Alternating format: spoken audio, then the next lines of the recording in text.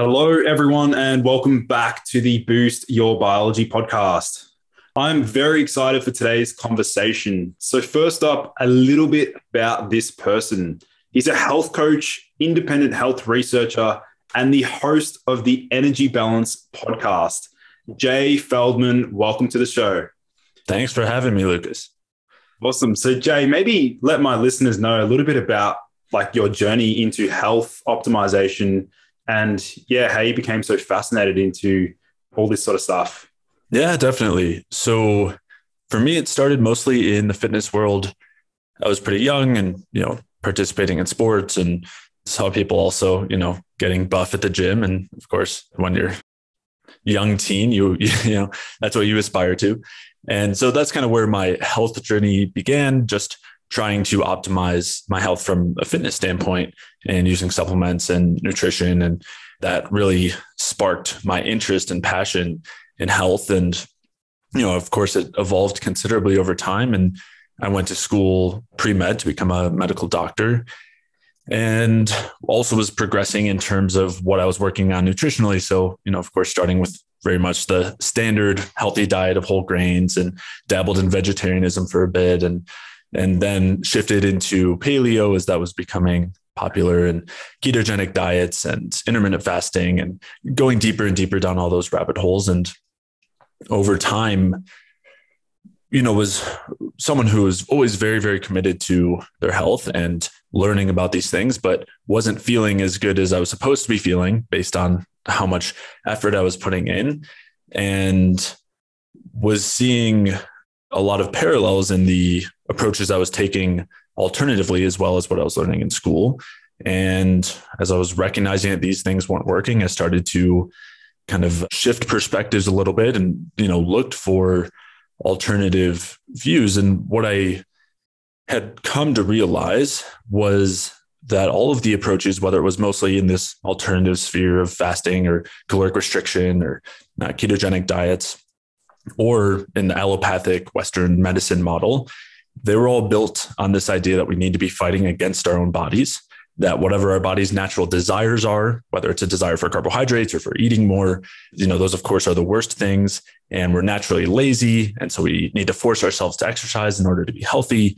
And from the allopathic model, you have a very similar perspective where our body's own responses to their environment that maybe involves an increase in blood pressure, an increase in cholesterol or insulin resistance or whatever it is, that is the problem. Our bodies are not smart enough to properly respond to our environments. And so we need to fix that with medications. So I was kind of recognizing these things and then came across this idea that energy is the foundation of our health and that really changed everything, led to a complete shift in diet and lifestyle and how I viewed our organisms, like ourselves as an organism, as well as our environment and beyond. Uh, and so that really kind of jump started things. And then, you know, after that point, have uh, been working as a coach and researcher to dive further down that line of thinking called the, the bioenergetic view of health, using that same perspective to to help people, you know, optimize their health, reverse various chronic health issues, tons of different symptoms and issues, and on from there. Yeah, incredible, incredible. I think um, what would be cool is if we could sort of dive into that bioenergetic view of health and and maybe do you want to like I'm curious to know, Jay, was there like a aha moment for yourself, like in terms of like nutrition or like the penny just dropped for you? I definitely can't take all the credit. You know, along the way, you're exposed to various you know to ideas from all sorts of different people and perspectives. And you know sometimes you need to hear something a few times before you explore it a little further. And so there was no individual moment that comes to mind but there was definitely a period of time where i was really struggling from what i had been doing right? So dealing with a lot of these feelings of restriction and hunger you know i wasn't sleeping as deeply. I was having some trouble with sleep. I was dealing with various like microbial issues, fungal infections, things like that, viral infections. My libido was nowhere near where it should have been. You know, wasn't having the energy and focus and and drive in the gym. And those things kind of were beginning to culminate. And, you know, I was really looking for a way out. And so I was more uh, open to alternative ideas and coming across this bioenergetic view and largely which is kind of spearheaded by the research of Dr. Ray Peat, you know, allowed me the freedom to maybe have some more carbohydrates in my diet and stop with all the fasting and I was looking for any excuse to be able to do those things and so once I started to dabble into that realm of thinking I definitely did not look back because it changed everything. Yeah, incredible. Well, let's sort of stick on that topic around like carbohydrate intake and metabolism. Do you want to share why being a carbohydrate burner, so to speak, is actually beneficial for metabolism?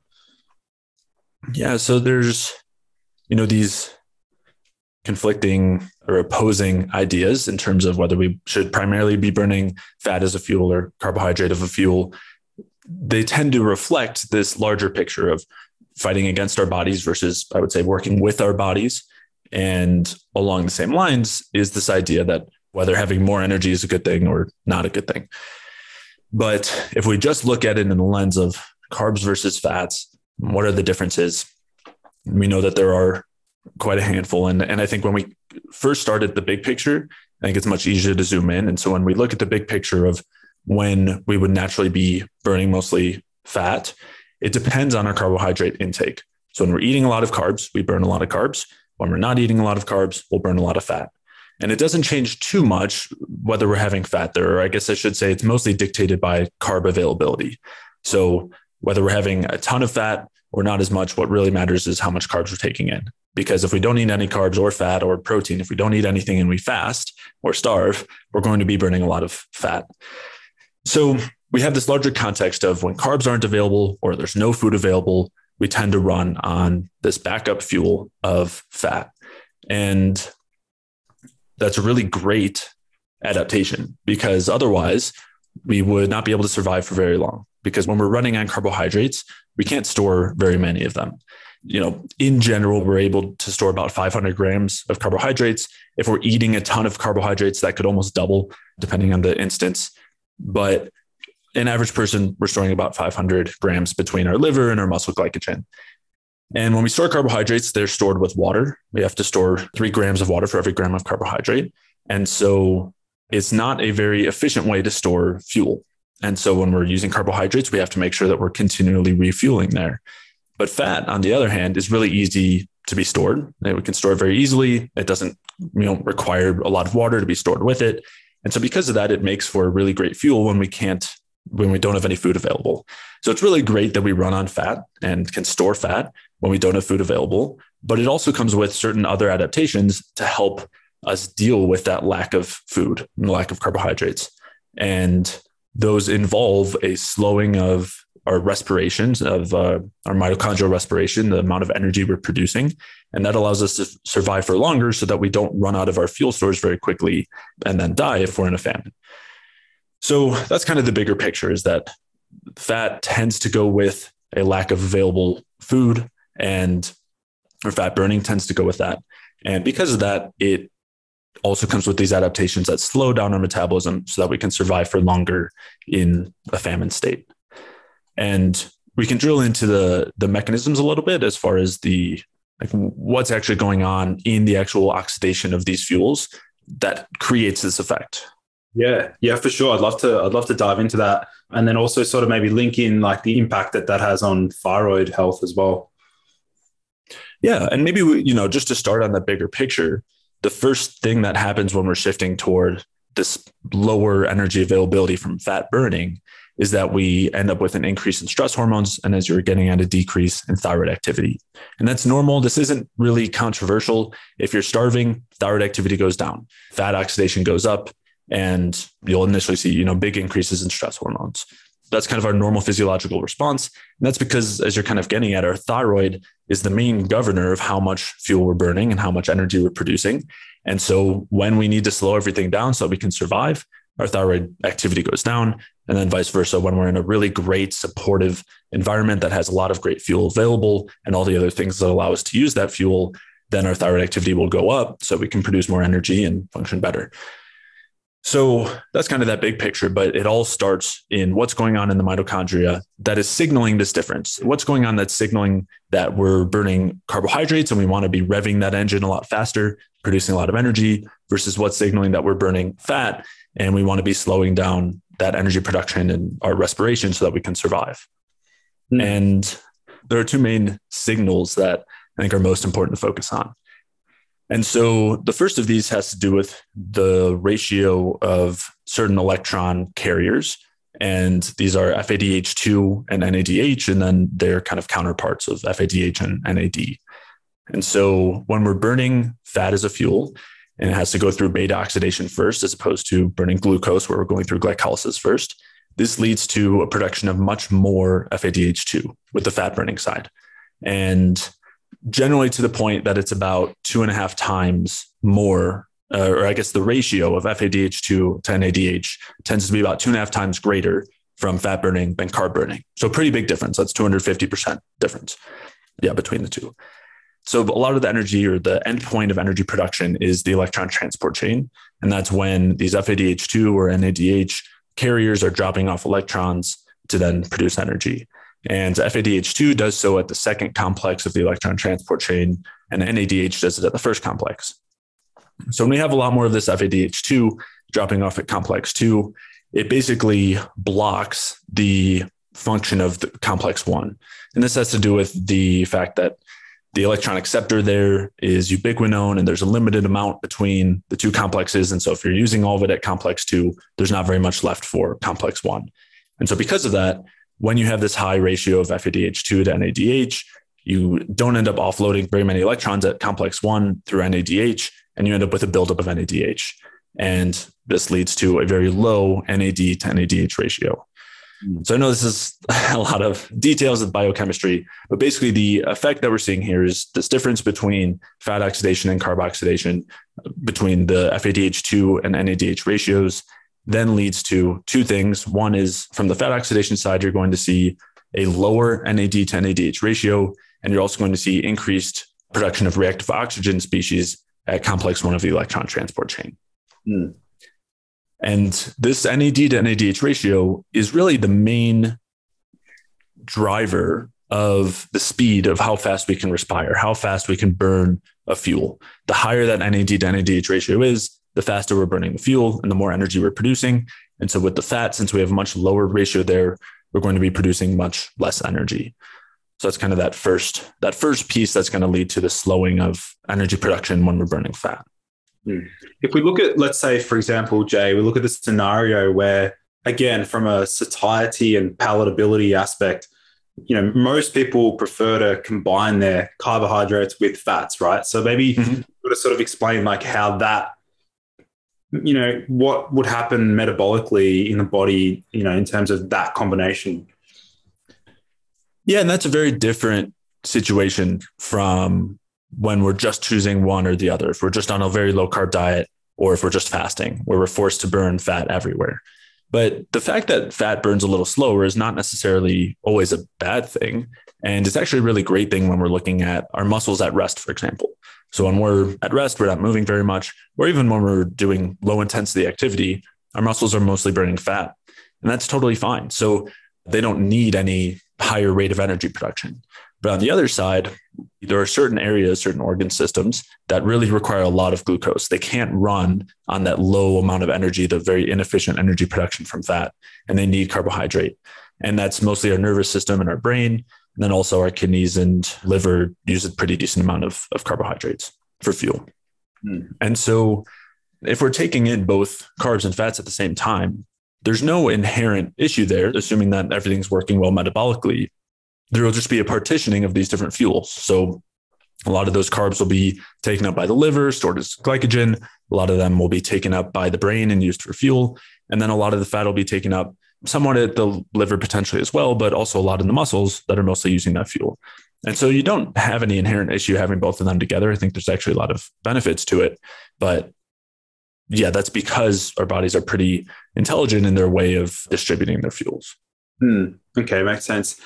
What about in terms of looking at the nuances around different carbohydrate sources, for example, you know, fructose, sucrose, I'm sure you've explored the different types and how they impact metabolism. So maybe you want to break that down to my listeners, the different types of sugars, and maybe which ones you think are you know most beneficial for sustaining or maintaining metabolism? Yeah, there's a couple unique features or characteristics from the different sugar sources. And so pretty much all carbohydrate sources that we take in that are not starch are a split between glucose and fructose. And then when we're having uh, a starchier source like you know potatoes or grains or rice, that's going to be mostly entirely glucose. Whereas again, like fruits or squashes are going to have more fructose. And so there's certain benefits that we get when we're taking in fructose. And the first of those, or one that's worth mentioning, is that a lot of that fructose gets taken up by the liver. And because of that, we end up with a much more balanced response in terms of our blood sugar. So when we take in a lot of glucose on its own, it's going to lead to a potentially, depending on how much we take in and how quickly it's absorbed, digested, that could lead to a pretty big spike in blood sugar. But when we're taking in equal amounts or mostly equal amounts of glucose and fructose, a lot of that fructose gets taken up by the liver. And then eventually some of it will get converted to glucose and sent back out. That's going to lead to a much more balanced blood sugar response. So that's one part. And then along with that, that also the other piece there is that the fructose is much better at fueling the liver and refueling or restoring our glycogen, which is stored in the liver. And that's basically our brain's storage for fuel because our brain can't store glycogen. Mm. So that's super important, right, for supporting like our cognitive capacity and being able to sleep through the night and being able to go between meals and have some stored sugar. And then the glucose is much better for fueling the muscles as well. It doesn't get picked up by the liver as much. And so our muscles will take up more of that glucose. And so if you're trying to recover really well from a workout and restore or refill the glycogen stores in your muscles, making sure to get enough glucose is going to be very important. Hmm. Interesting you said that, Jay, about the sleep quality, because I'd like to add in my own experience, like with different diets and things like that. What I've found works, you know, well for me is actually I finish the day with a pretty high carbohydrate meal. And so maybe do you want to explore like for some individuals who have sleep issues, how carbohydrates can potentially offset some of the stress hormones and keep that liver glycogen full? Yeah, so kind of you know, in the same way that we were associating the pure fat burning with the stress of famine, carbohydrates do the opposite. And so, anytime we're going for an extended period of time without enough carbs, our blood sugar is going to drop. And that's going to cause the release of stress hormones to bring it back up. It's a totally normal and helpful response, but it's not one that we want to be relying on because there's a huge cost to the increase in stress hormones like cortisol. And that's something that's pretty well known, right? We know that that's associated with all sorts of disease processes. And generally, you don't feel too good when that's happening either. You know, it's going to slow down your cognitive function and you're, you might be getting some hot flashes. You might feel anxious or irritable. You're going to feel pretty hungry. You'll have sugar cravings. It's a situation we generally want to avoid. So that's part of why it's so important to be having carbohydrates on a regular basis throughout the day to make sure that we're maintaining stable blood sugar and not dipping into those stress hormones. As you're getting at when we're asleep, we obviously can't eat throughout the night. And so instead, we're left to relying on the carbohydrates stored in our liver, which is the glycogen storage. And so, what you're mentioning here, as far as a high carbohydrate meal being really helpful for quality sleep at night, largely it's because we're providing enough carbohydrates not only for that moment in time, but also for storage so that then throughout the night we have enough carbohydrates to pull from and basically keep our stress hormones down throughout the night until the morning when we're supposed to wake up. And that's because we're still using fuel throughout the night, right? Our brains are still functioning, they're repairing, our whole bodies are relatively active, so to speak, or at least some of our organ systems are. So we need to have that fuel throughout the night. And when we don't, that's when we tend to have trouble falling asleep or we're waking up throughout the night. Maybe we're hungry or our heart's racing, we're having nightmares. Those kinds of things tend to be a sign of either not having enough stored glycogen due to not eating enough carbs, or I mean, there could be a handful of other factors, but maybe we're not using that glucose very well. So we're running out of it very quickly. And that could be another kind of presentation there. Yeah. Something else that popped up in my head was the implications for certain vitamins and minerals to assist with like liver glycogen storage and you know maintain that pros that capability. So maybe do you want to explore some of the crucial you know vitamins that assist with that you know liver glycogen storage? Yeah. So by default, our livers should be storing glycogen really well. Mm. But there's a ton of different ways to create dysfunction where instead of that you know carbohydrate or maybe fructose being stored as glycogen it's being converted to fat or going down some other pathway that is not glycogen storage due to some blocks there and so as you're mentioning one of those blocks can be nutrient deficiencies and there's a handful of possible ones but one that's generally regarded very commonly is choline uh, being a nutrient that's really important for protecting the liver, ensuring that the fructose that's entering the liver is being used well. And that would also involve storing it as glycogen. Another one, and this is an amino acid that tends to be really supportive here, is taurine. That'd be another one I would be considering. There's a handful of vitamins that can also be involved, some of the B vitamins, especially vitamin K2, vitamin E, there's different reasons for each of these. So, for example, oxidative stress in the liver is going to impair our usage of fructose, drive it to fat instead of glycogen, and vitamin E is something that can really help to protect us there. So, I mean, almost almost all are going to be important. Vitamin A is another super important one.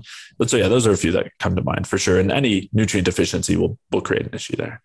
Well, just another point that you sort of mentioned. I'm really curious to know your stance on like iron and copper because obviously that's widely discussed at the moment yeah like what's your opinion on like the way in which the body handles iron do you want to sort of explore how that can be problematic and what can go wrong there yeah so when it comes to iron we know that free iron is generally a problem right and that's not always an issue of excess iron coming in, but it rather can be an issue of whether we're properly using it and whether it's staying in the cell.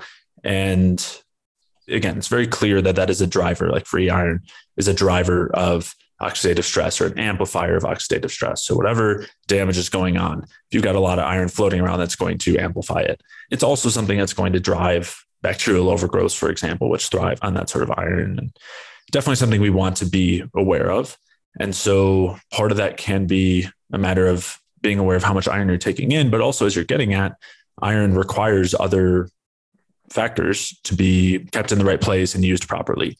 Copper is one of those and one of the most important. So if we're worried about iron, we definitely want to make sure we're getting enough copper. And you know, not so coincidentally, our you know livers, which do have a lot of iron, also have a lot of copper. And copper is super important for a ton of reasons. It's one of the main, or it's involved in some of the main complexes that drive energy production. And uh, yeah, so making sure to get adequate copper is very important in terms of maintaining proper iron status. But so is general thyroid activity and general energy availability and opposing stress because when our cells are in energy depleted state, they end up releasing iron. And so anything that's going to keep our cells stabilized, which involves, you know, having adequate thyroid hormone, having enough carbohydrates, having enough energy is really what it boils down to, is going to help improve iron status. And I've seen that. I've seen situations where iron values on lab work like improve considerably just by adjusting thyroid hormone without changing iron intake at all.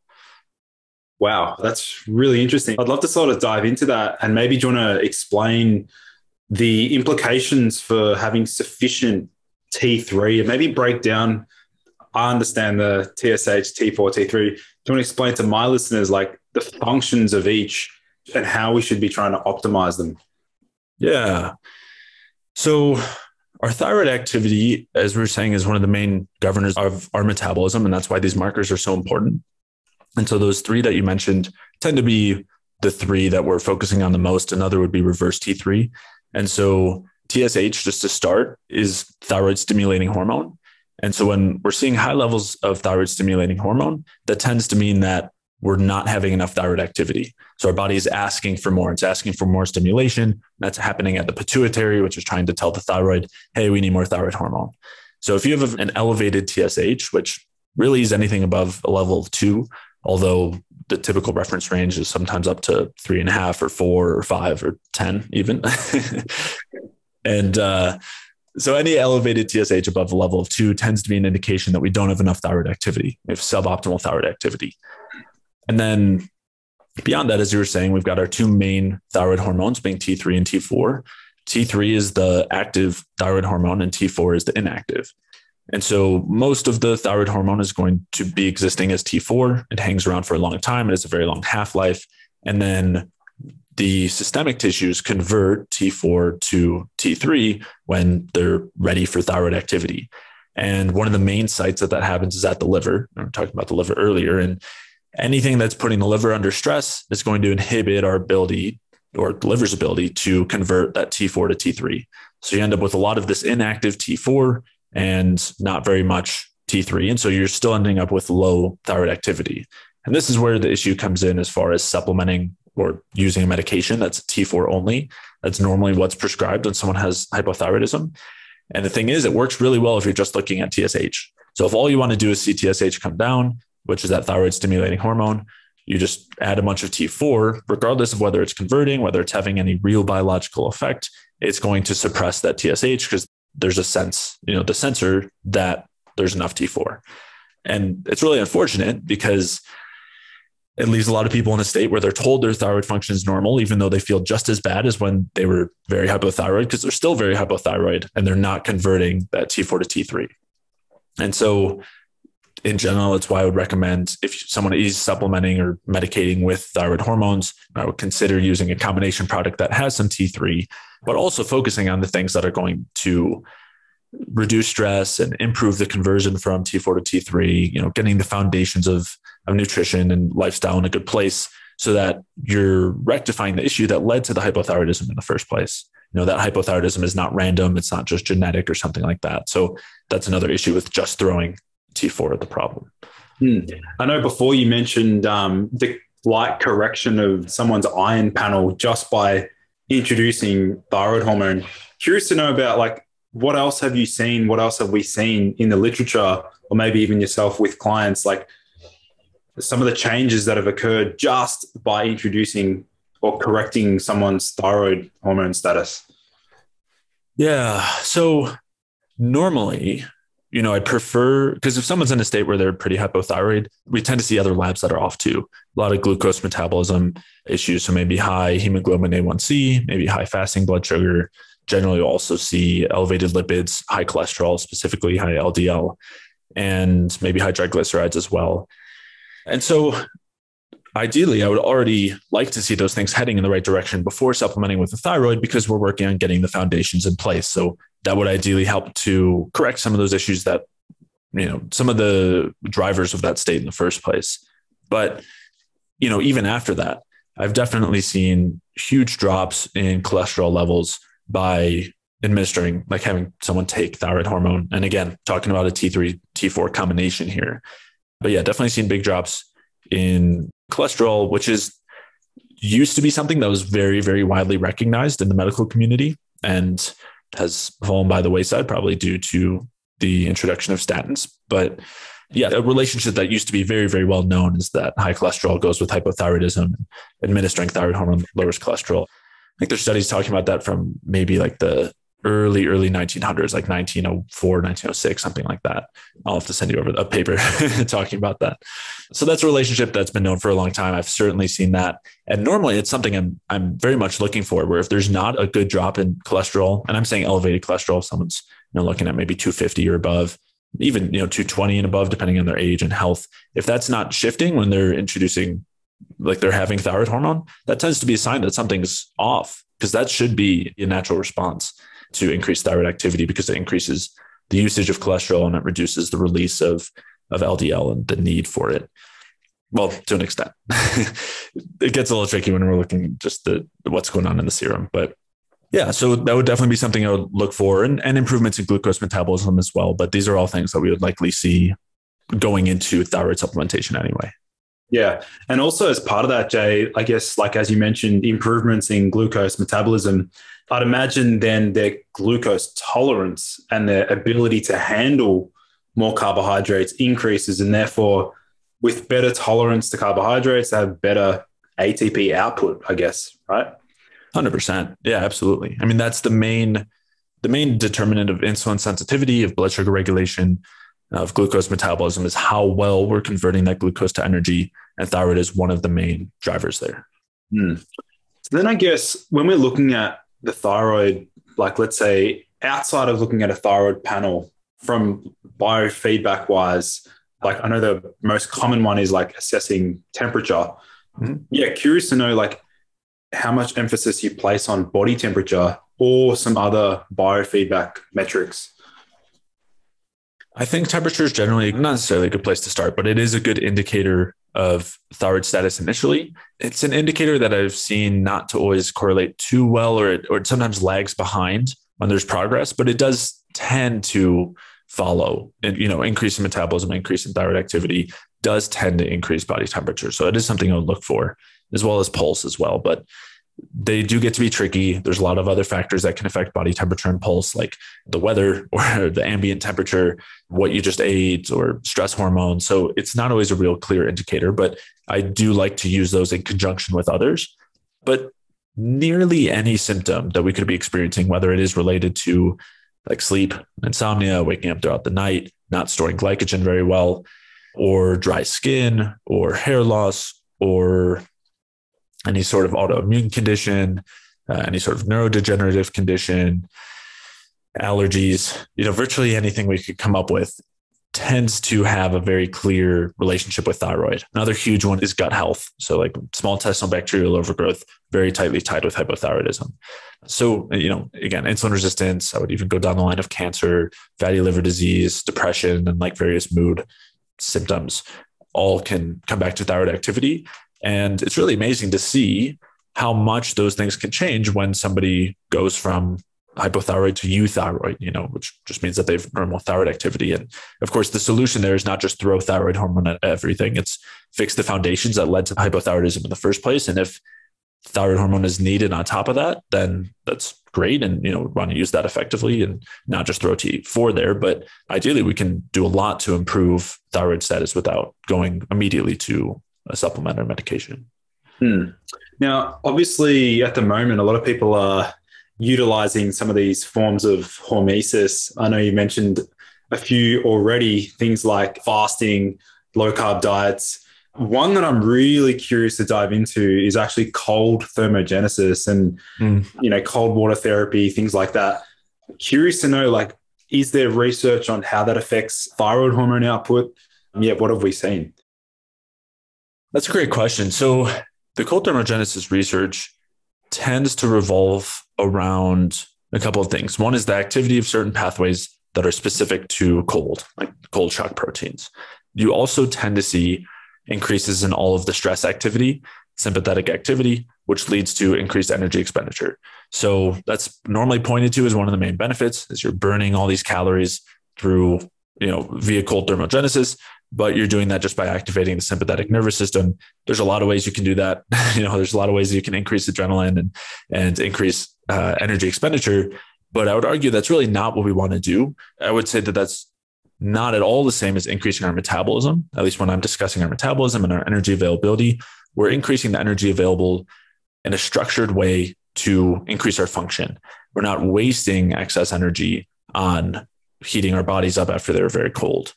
Of course, it's better to do that than not. We don't want to stay very cold. But, you know, interestingly, there's a study that I've seen cited in favor of cold thermogenesis, but it kind of goes along here where they they mentioned that a lower body temperature was associated with longevity. And in the study, what they actually did was they had, I want to say it was some type of rodent in a very warm environment, and their body temperature came down and they lived longer.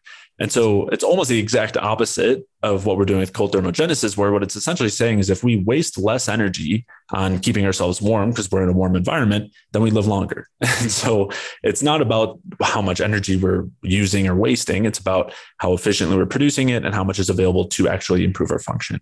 Uh, and I don't see a situation where cold thermogenesis supports that. You were asking about cold, specifically cold and thyroid. And I'm sure that I've seen some studies in that relationship, and maybe you've seen them more recently and, and would want to share. And I could share my thoughts, but I don't, off the top of my head, don't remember what sort of effects they're seeing. I think from memory, there was a difference between the acute effect. So, like post cold therapy exposure having some sort of impact on T3 levels. There's other studies where they look at like swimmers, like doing long swims in cold oceans, how that affects their metabolism. But even I'm a little bit confused myself. I think chronically it makes sense that it's going to be harmful to metabolism, but that's just what I perceive. If somebody's doing it every day, compounded with like daily stresses, like you said, it's a, a very powerful way to st- stimulate the sympathetic nervous system. I mean, like, and but for some people, they love that effect. You know, some people that that are like potentially like have that low sympathetic output. Some people love that that buzz that they get from it. You know. Yeah, and there's something to be said there, right? If we're naturally lower in energy and we need that cup of coffee on an empty stomach or kind of the fasted workout or something like that to get us going, that's important information. And I would just rather get that person to a point where they're producing energy effectively and they're feeling like they have a good amount of energy to use without needing to drive it through those backup pathways because those backup pathways come at a cost. And as you were saying, most of the time when we're doing anything that drives stress, we see this stark contrast between the acute effects and the chronic effects. Acutely, you're going to see increased energy expenditure, increased mitochondrial respiration. You know, we were talking earlier about the NAD to NADH ratio, and you actually see an immediate, like after it gets very low, you then see a rebound effect because you activate all these backup NAD salvage pathways. Like it's a very cohesive response to oppose that stressor so that we can get back to a state where we actually have enough energy to function and that's great. But we don't need to do those things to increase our respiration and to produce more energy. And in the long term, we see the effects of those, which is that they do depress thyroid activity. They do reduce the amount of energy available for our brain to function well or our digestion to function well. And you know, we see those costs over time. It just initially looks great. yeah. Also, as part of that, Jay, I guess I'd be curious to know like those that can tolerate the cold apart from having more brown fat, for example, or I'd be curious to know if those that can tolerate, you know, cold therapy and they just seem to they get by and it's like I'm not even feeling it. Whereas other people that are like really sensitive to the cold, maybe they mm-hmm. there's a massive difference between their thyroid hormone activity potentially. Yeah, yeah, potentially. You know, if you would think if somebody has much better thyroid activity, they would probably be more tolerant to it yeah, it's you know playing a bit of a guessing game here. But the reason why I'm hesitant is because sometimes when we're used to a situation where metabolic rate is very high, we're more sensitive to when it comes down.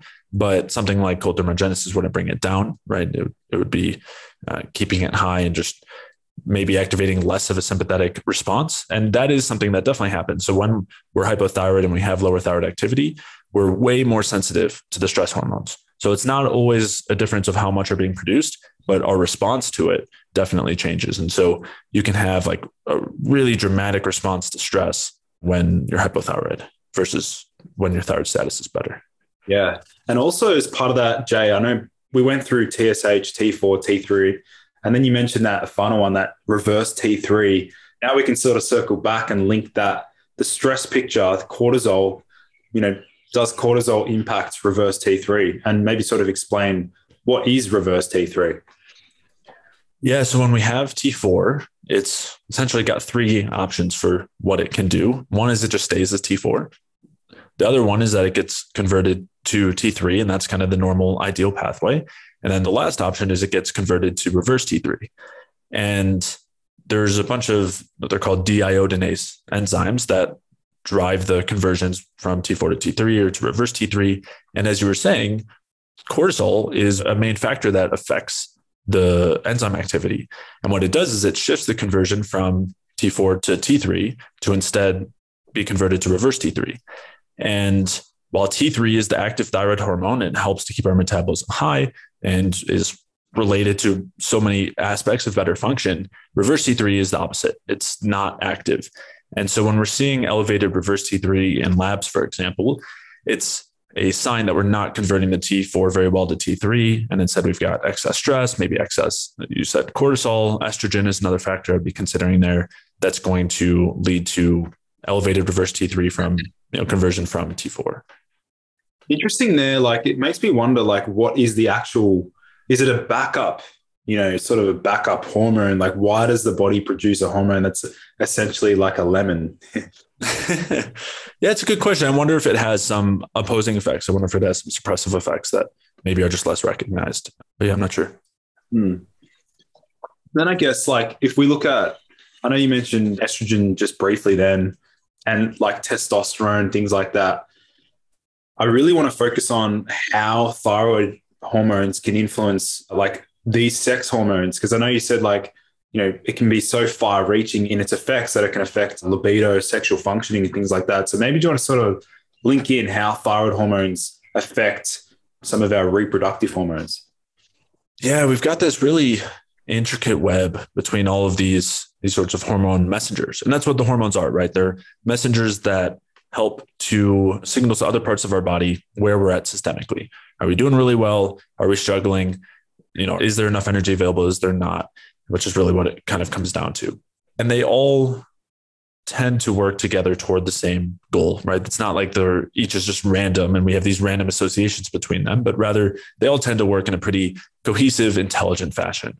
And the stress hormones, especially, I think are a good place to start because it's very clear to know what they're indicating. And what we happen to see is that not only do they inhibit like thyroid production, they also inhibit proper T4 to T3 conversion. They also happen to have the same or parallel effects with the sex hormones. So they tend to be pretty effective at lowering testosterone production. They tend to drive excess estrogen production.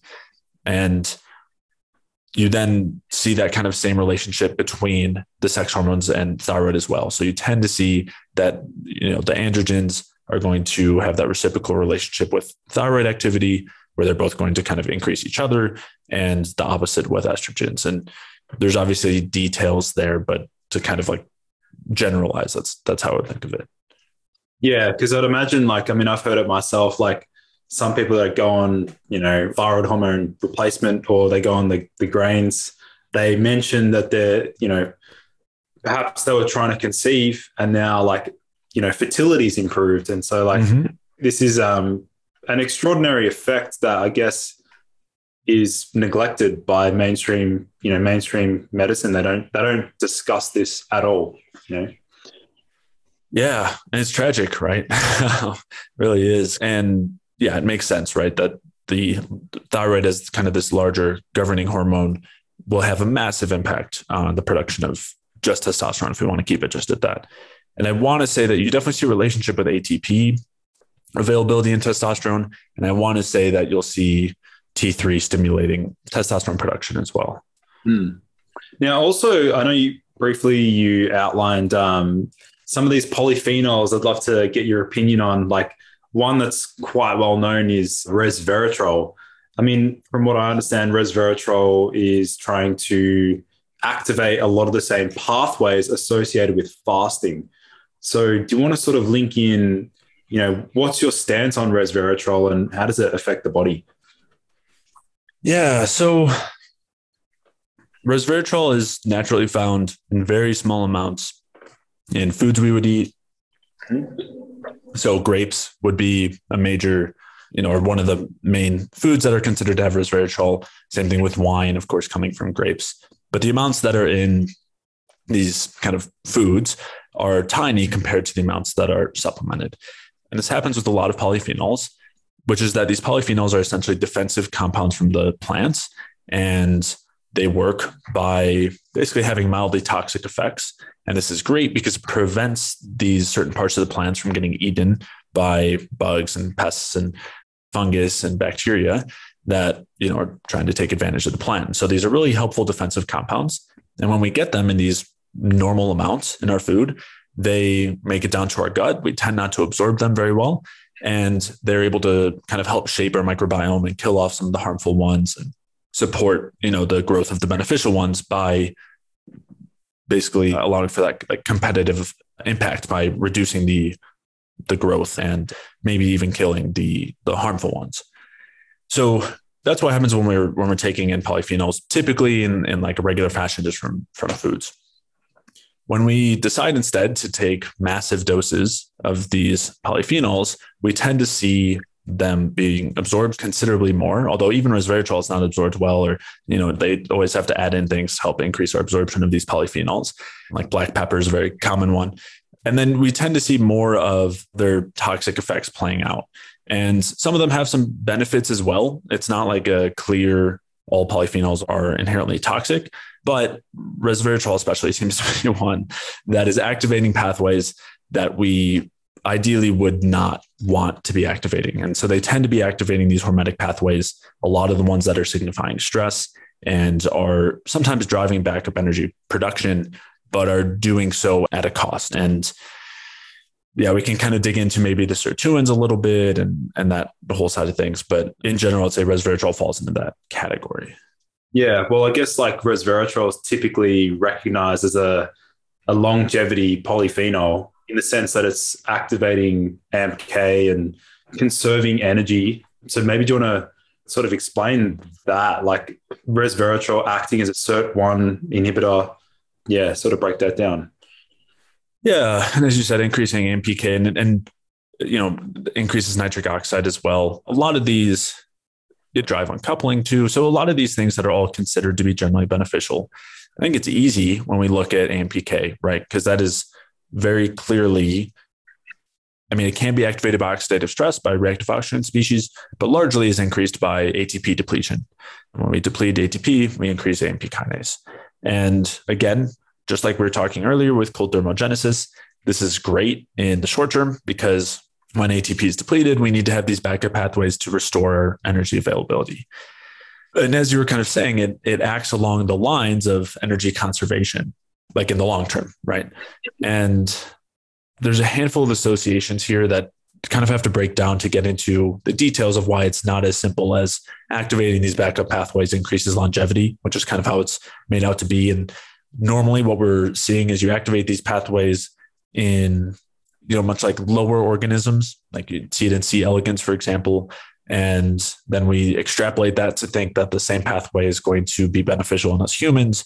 See similar things in rats like you know you have calorie restriction and that leads to increase in longevity in rats and it also activates these pathways so these pathways must be good.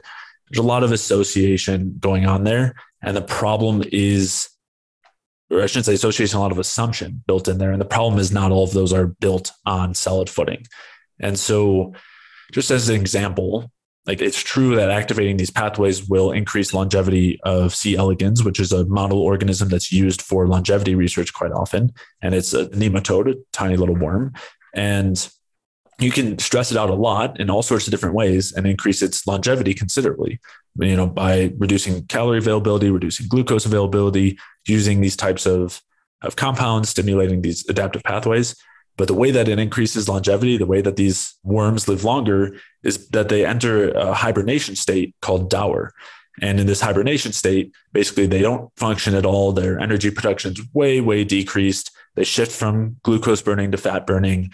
Uh, they're essentially non functioning. And in the wild, that would not be a great thing to have happen. I mean, it might allow them to survive, you know, really stressful situation, but they're not actually living during that time.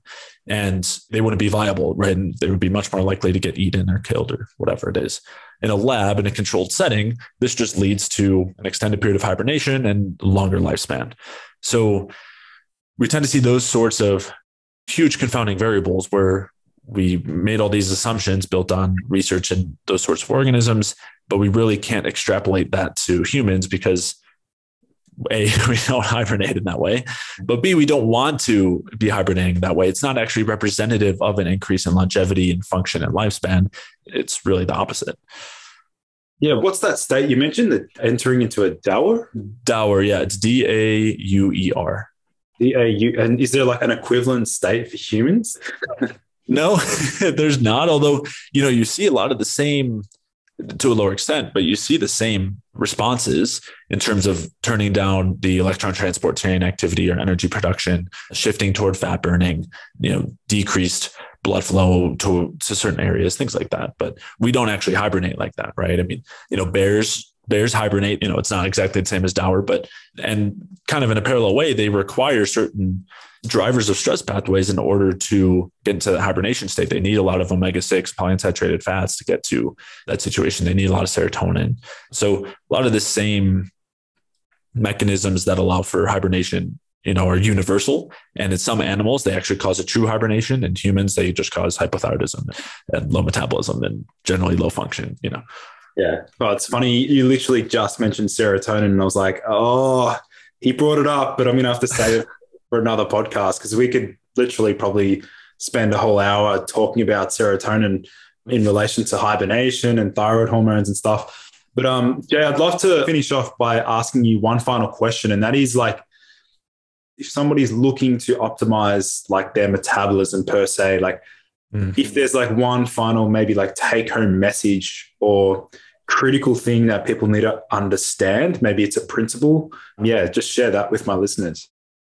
Yeah. So, in terms of principles, I would say that we want to be looking at what we're doing in terms of nutrition, lifestyle supplements, in terms of those effects on energy availability. And, you know, both short term and long term, of course. And so when we do that, you know, we come to certain conclusions like that we want to make sure we're eating enough carbohydrates. We don't want to be fasting or going on a low carb diet. We want to be using that energy in a constructive way, which maybe involves some exercise, but maybe not, you know, excessive amounts of exercise or wasting, you know, wasting huge amounts of energy on whether it's physical activity or cold thermogenesis or something like that. You know, that helps to dictate what types of fats we want to take in. I mentioned the polyunsaturated fats.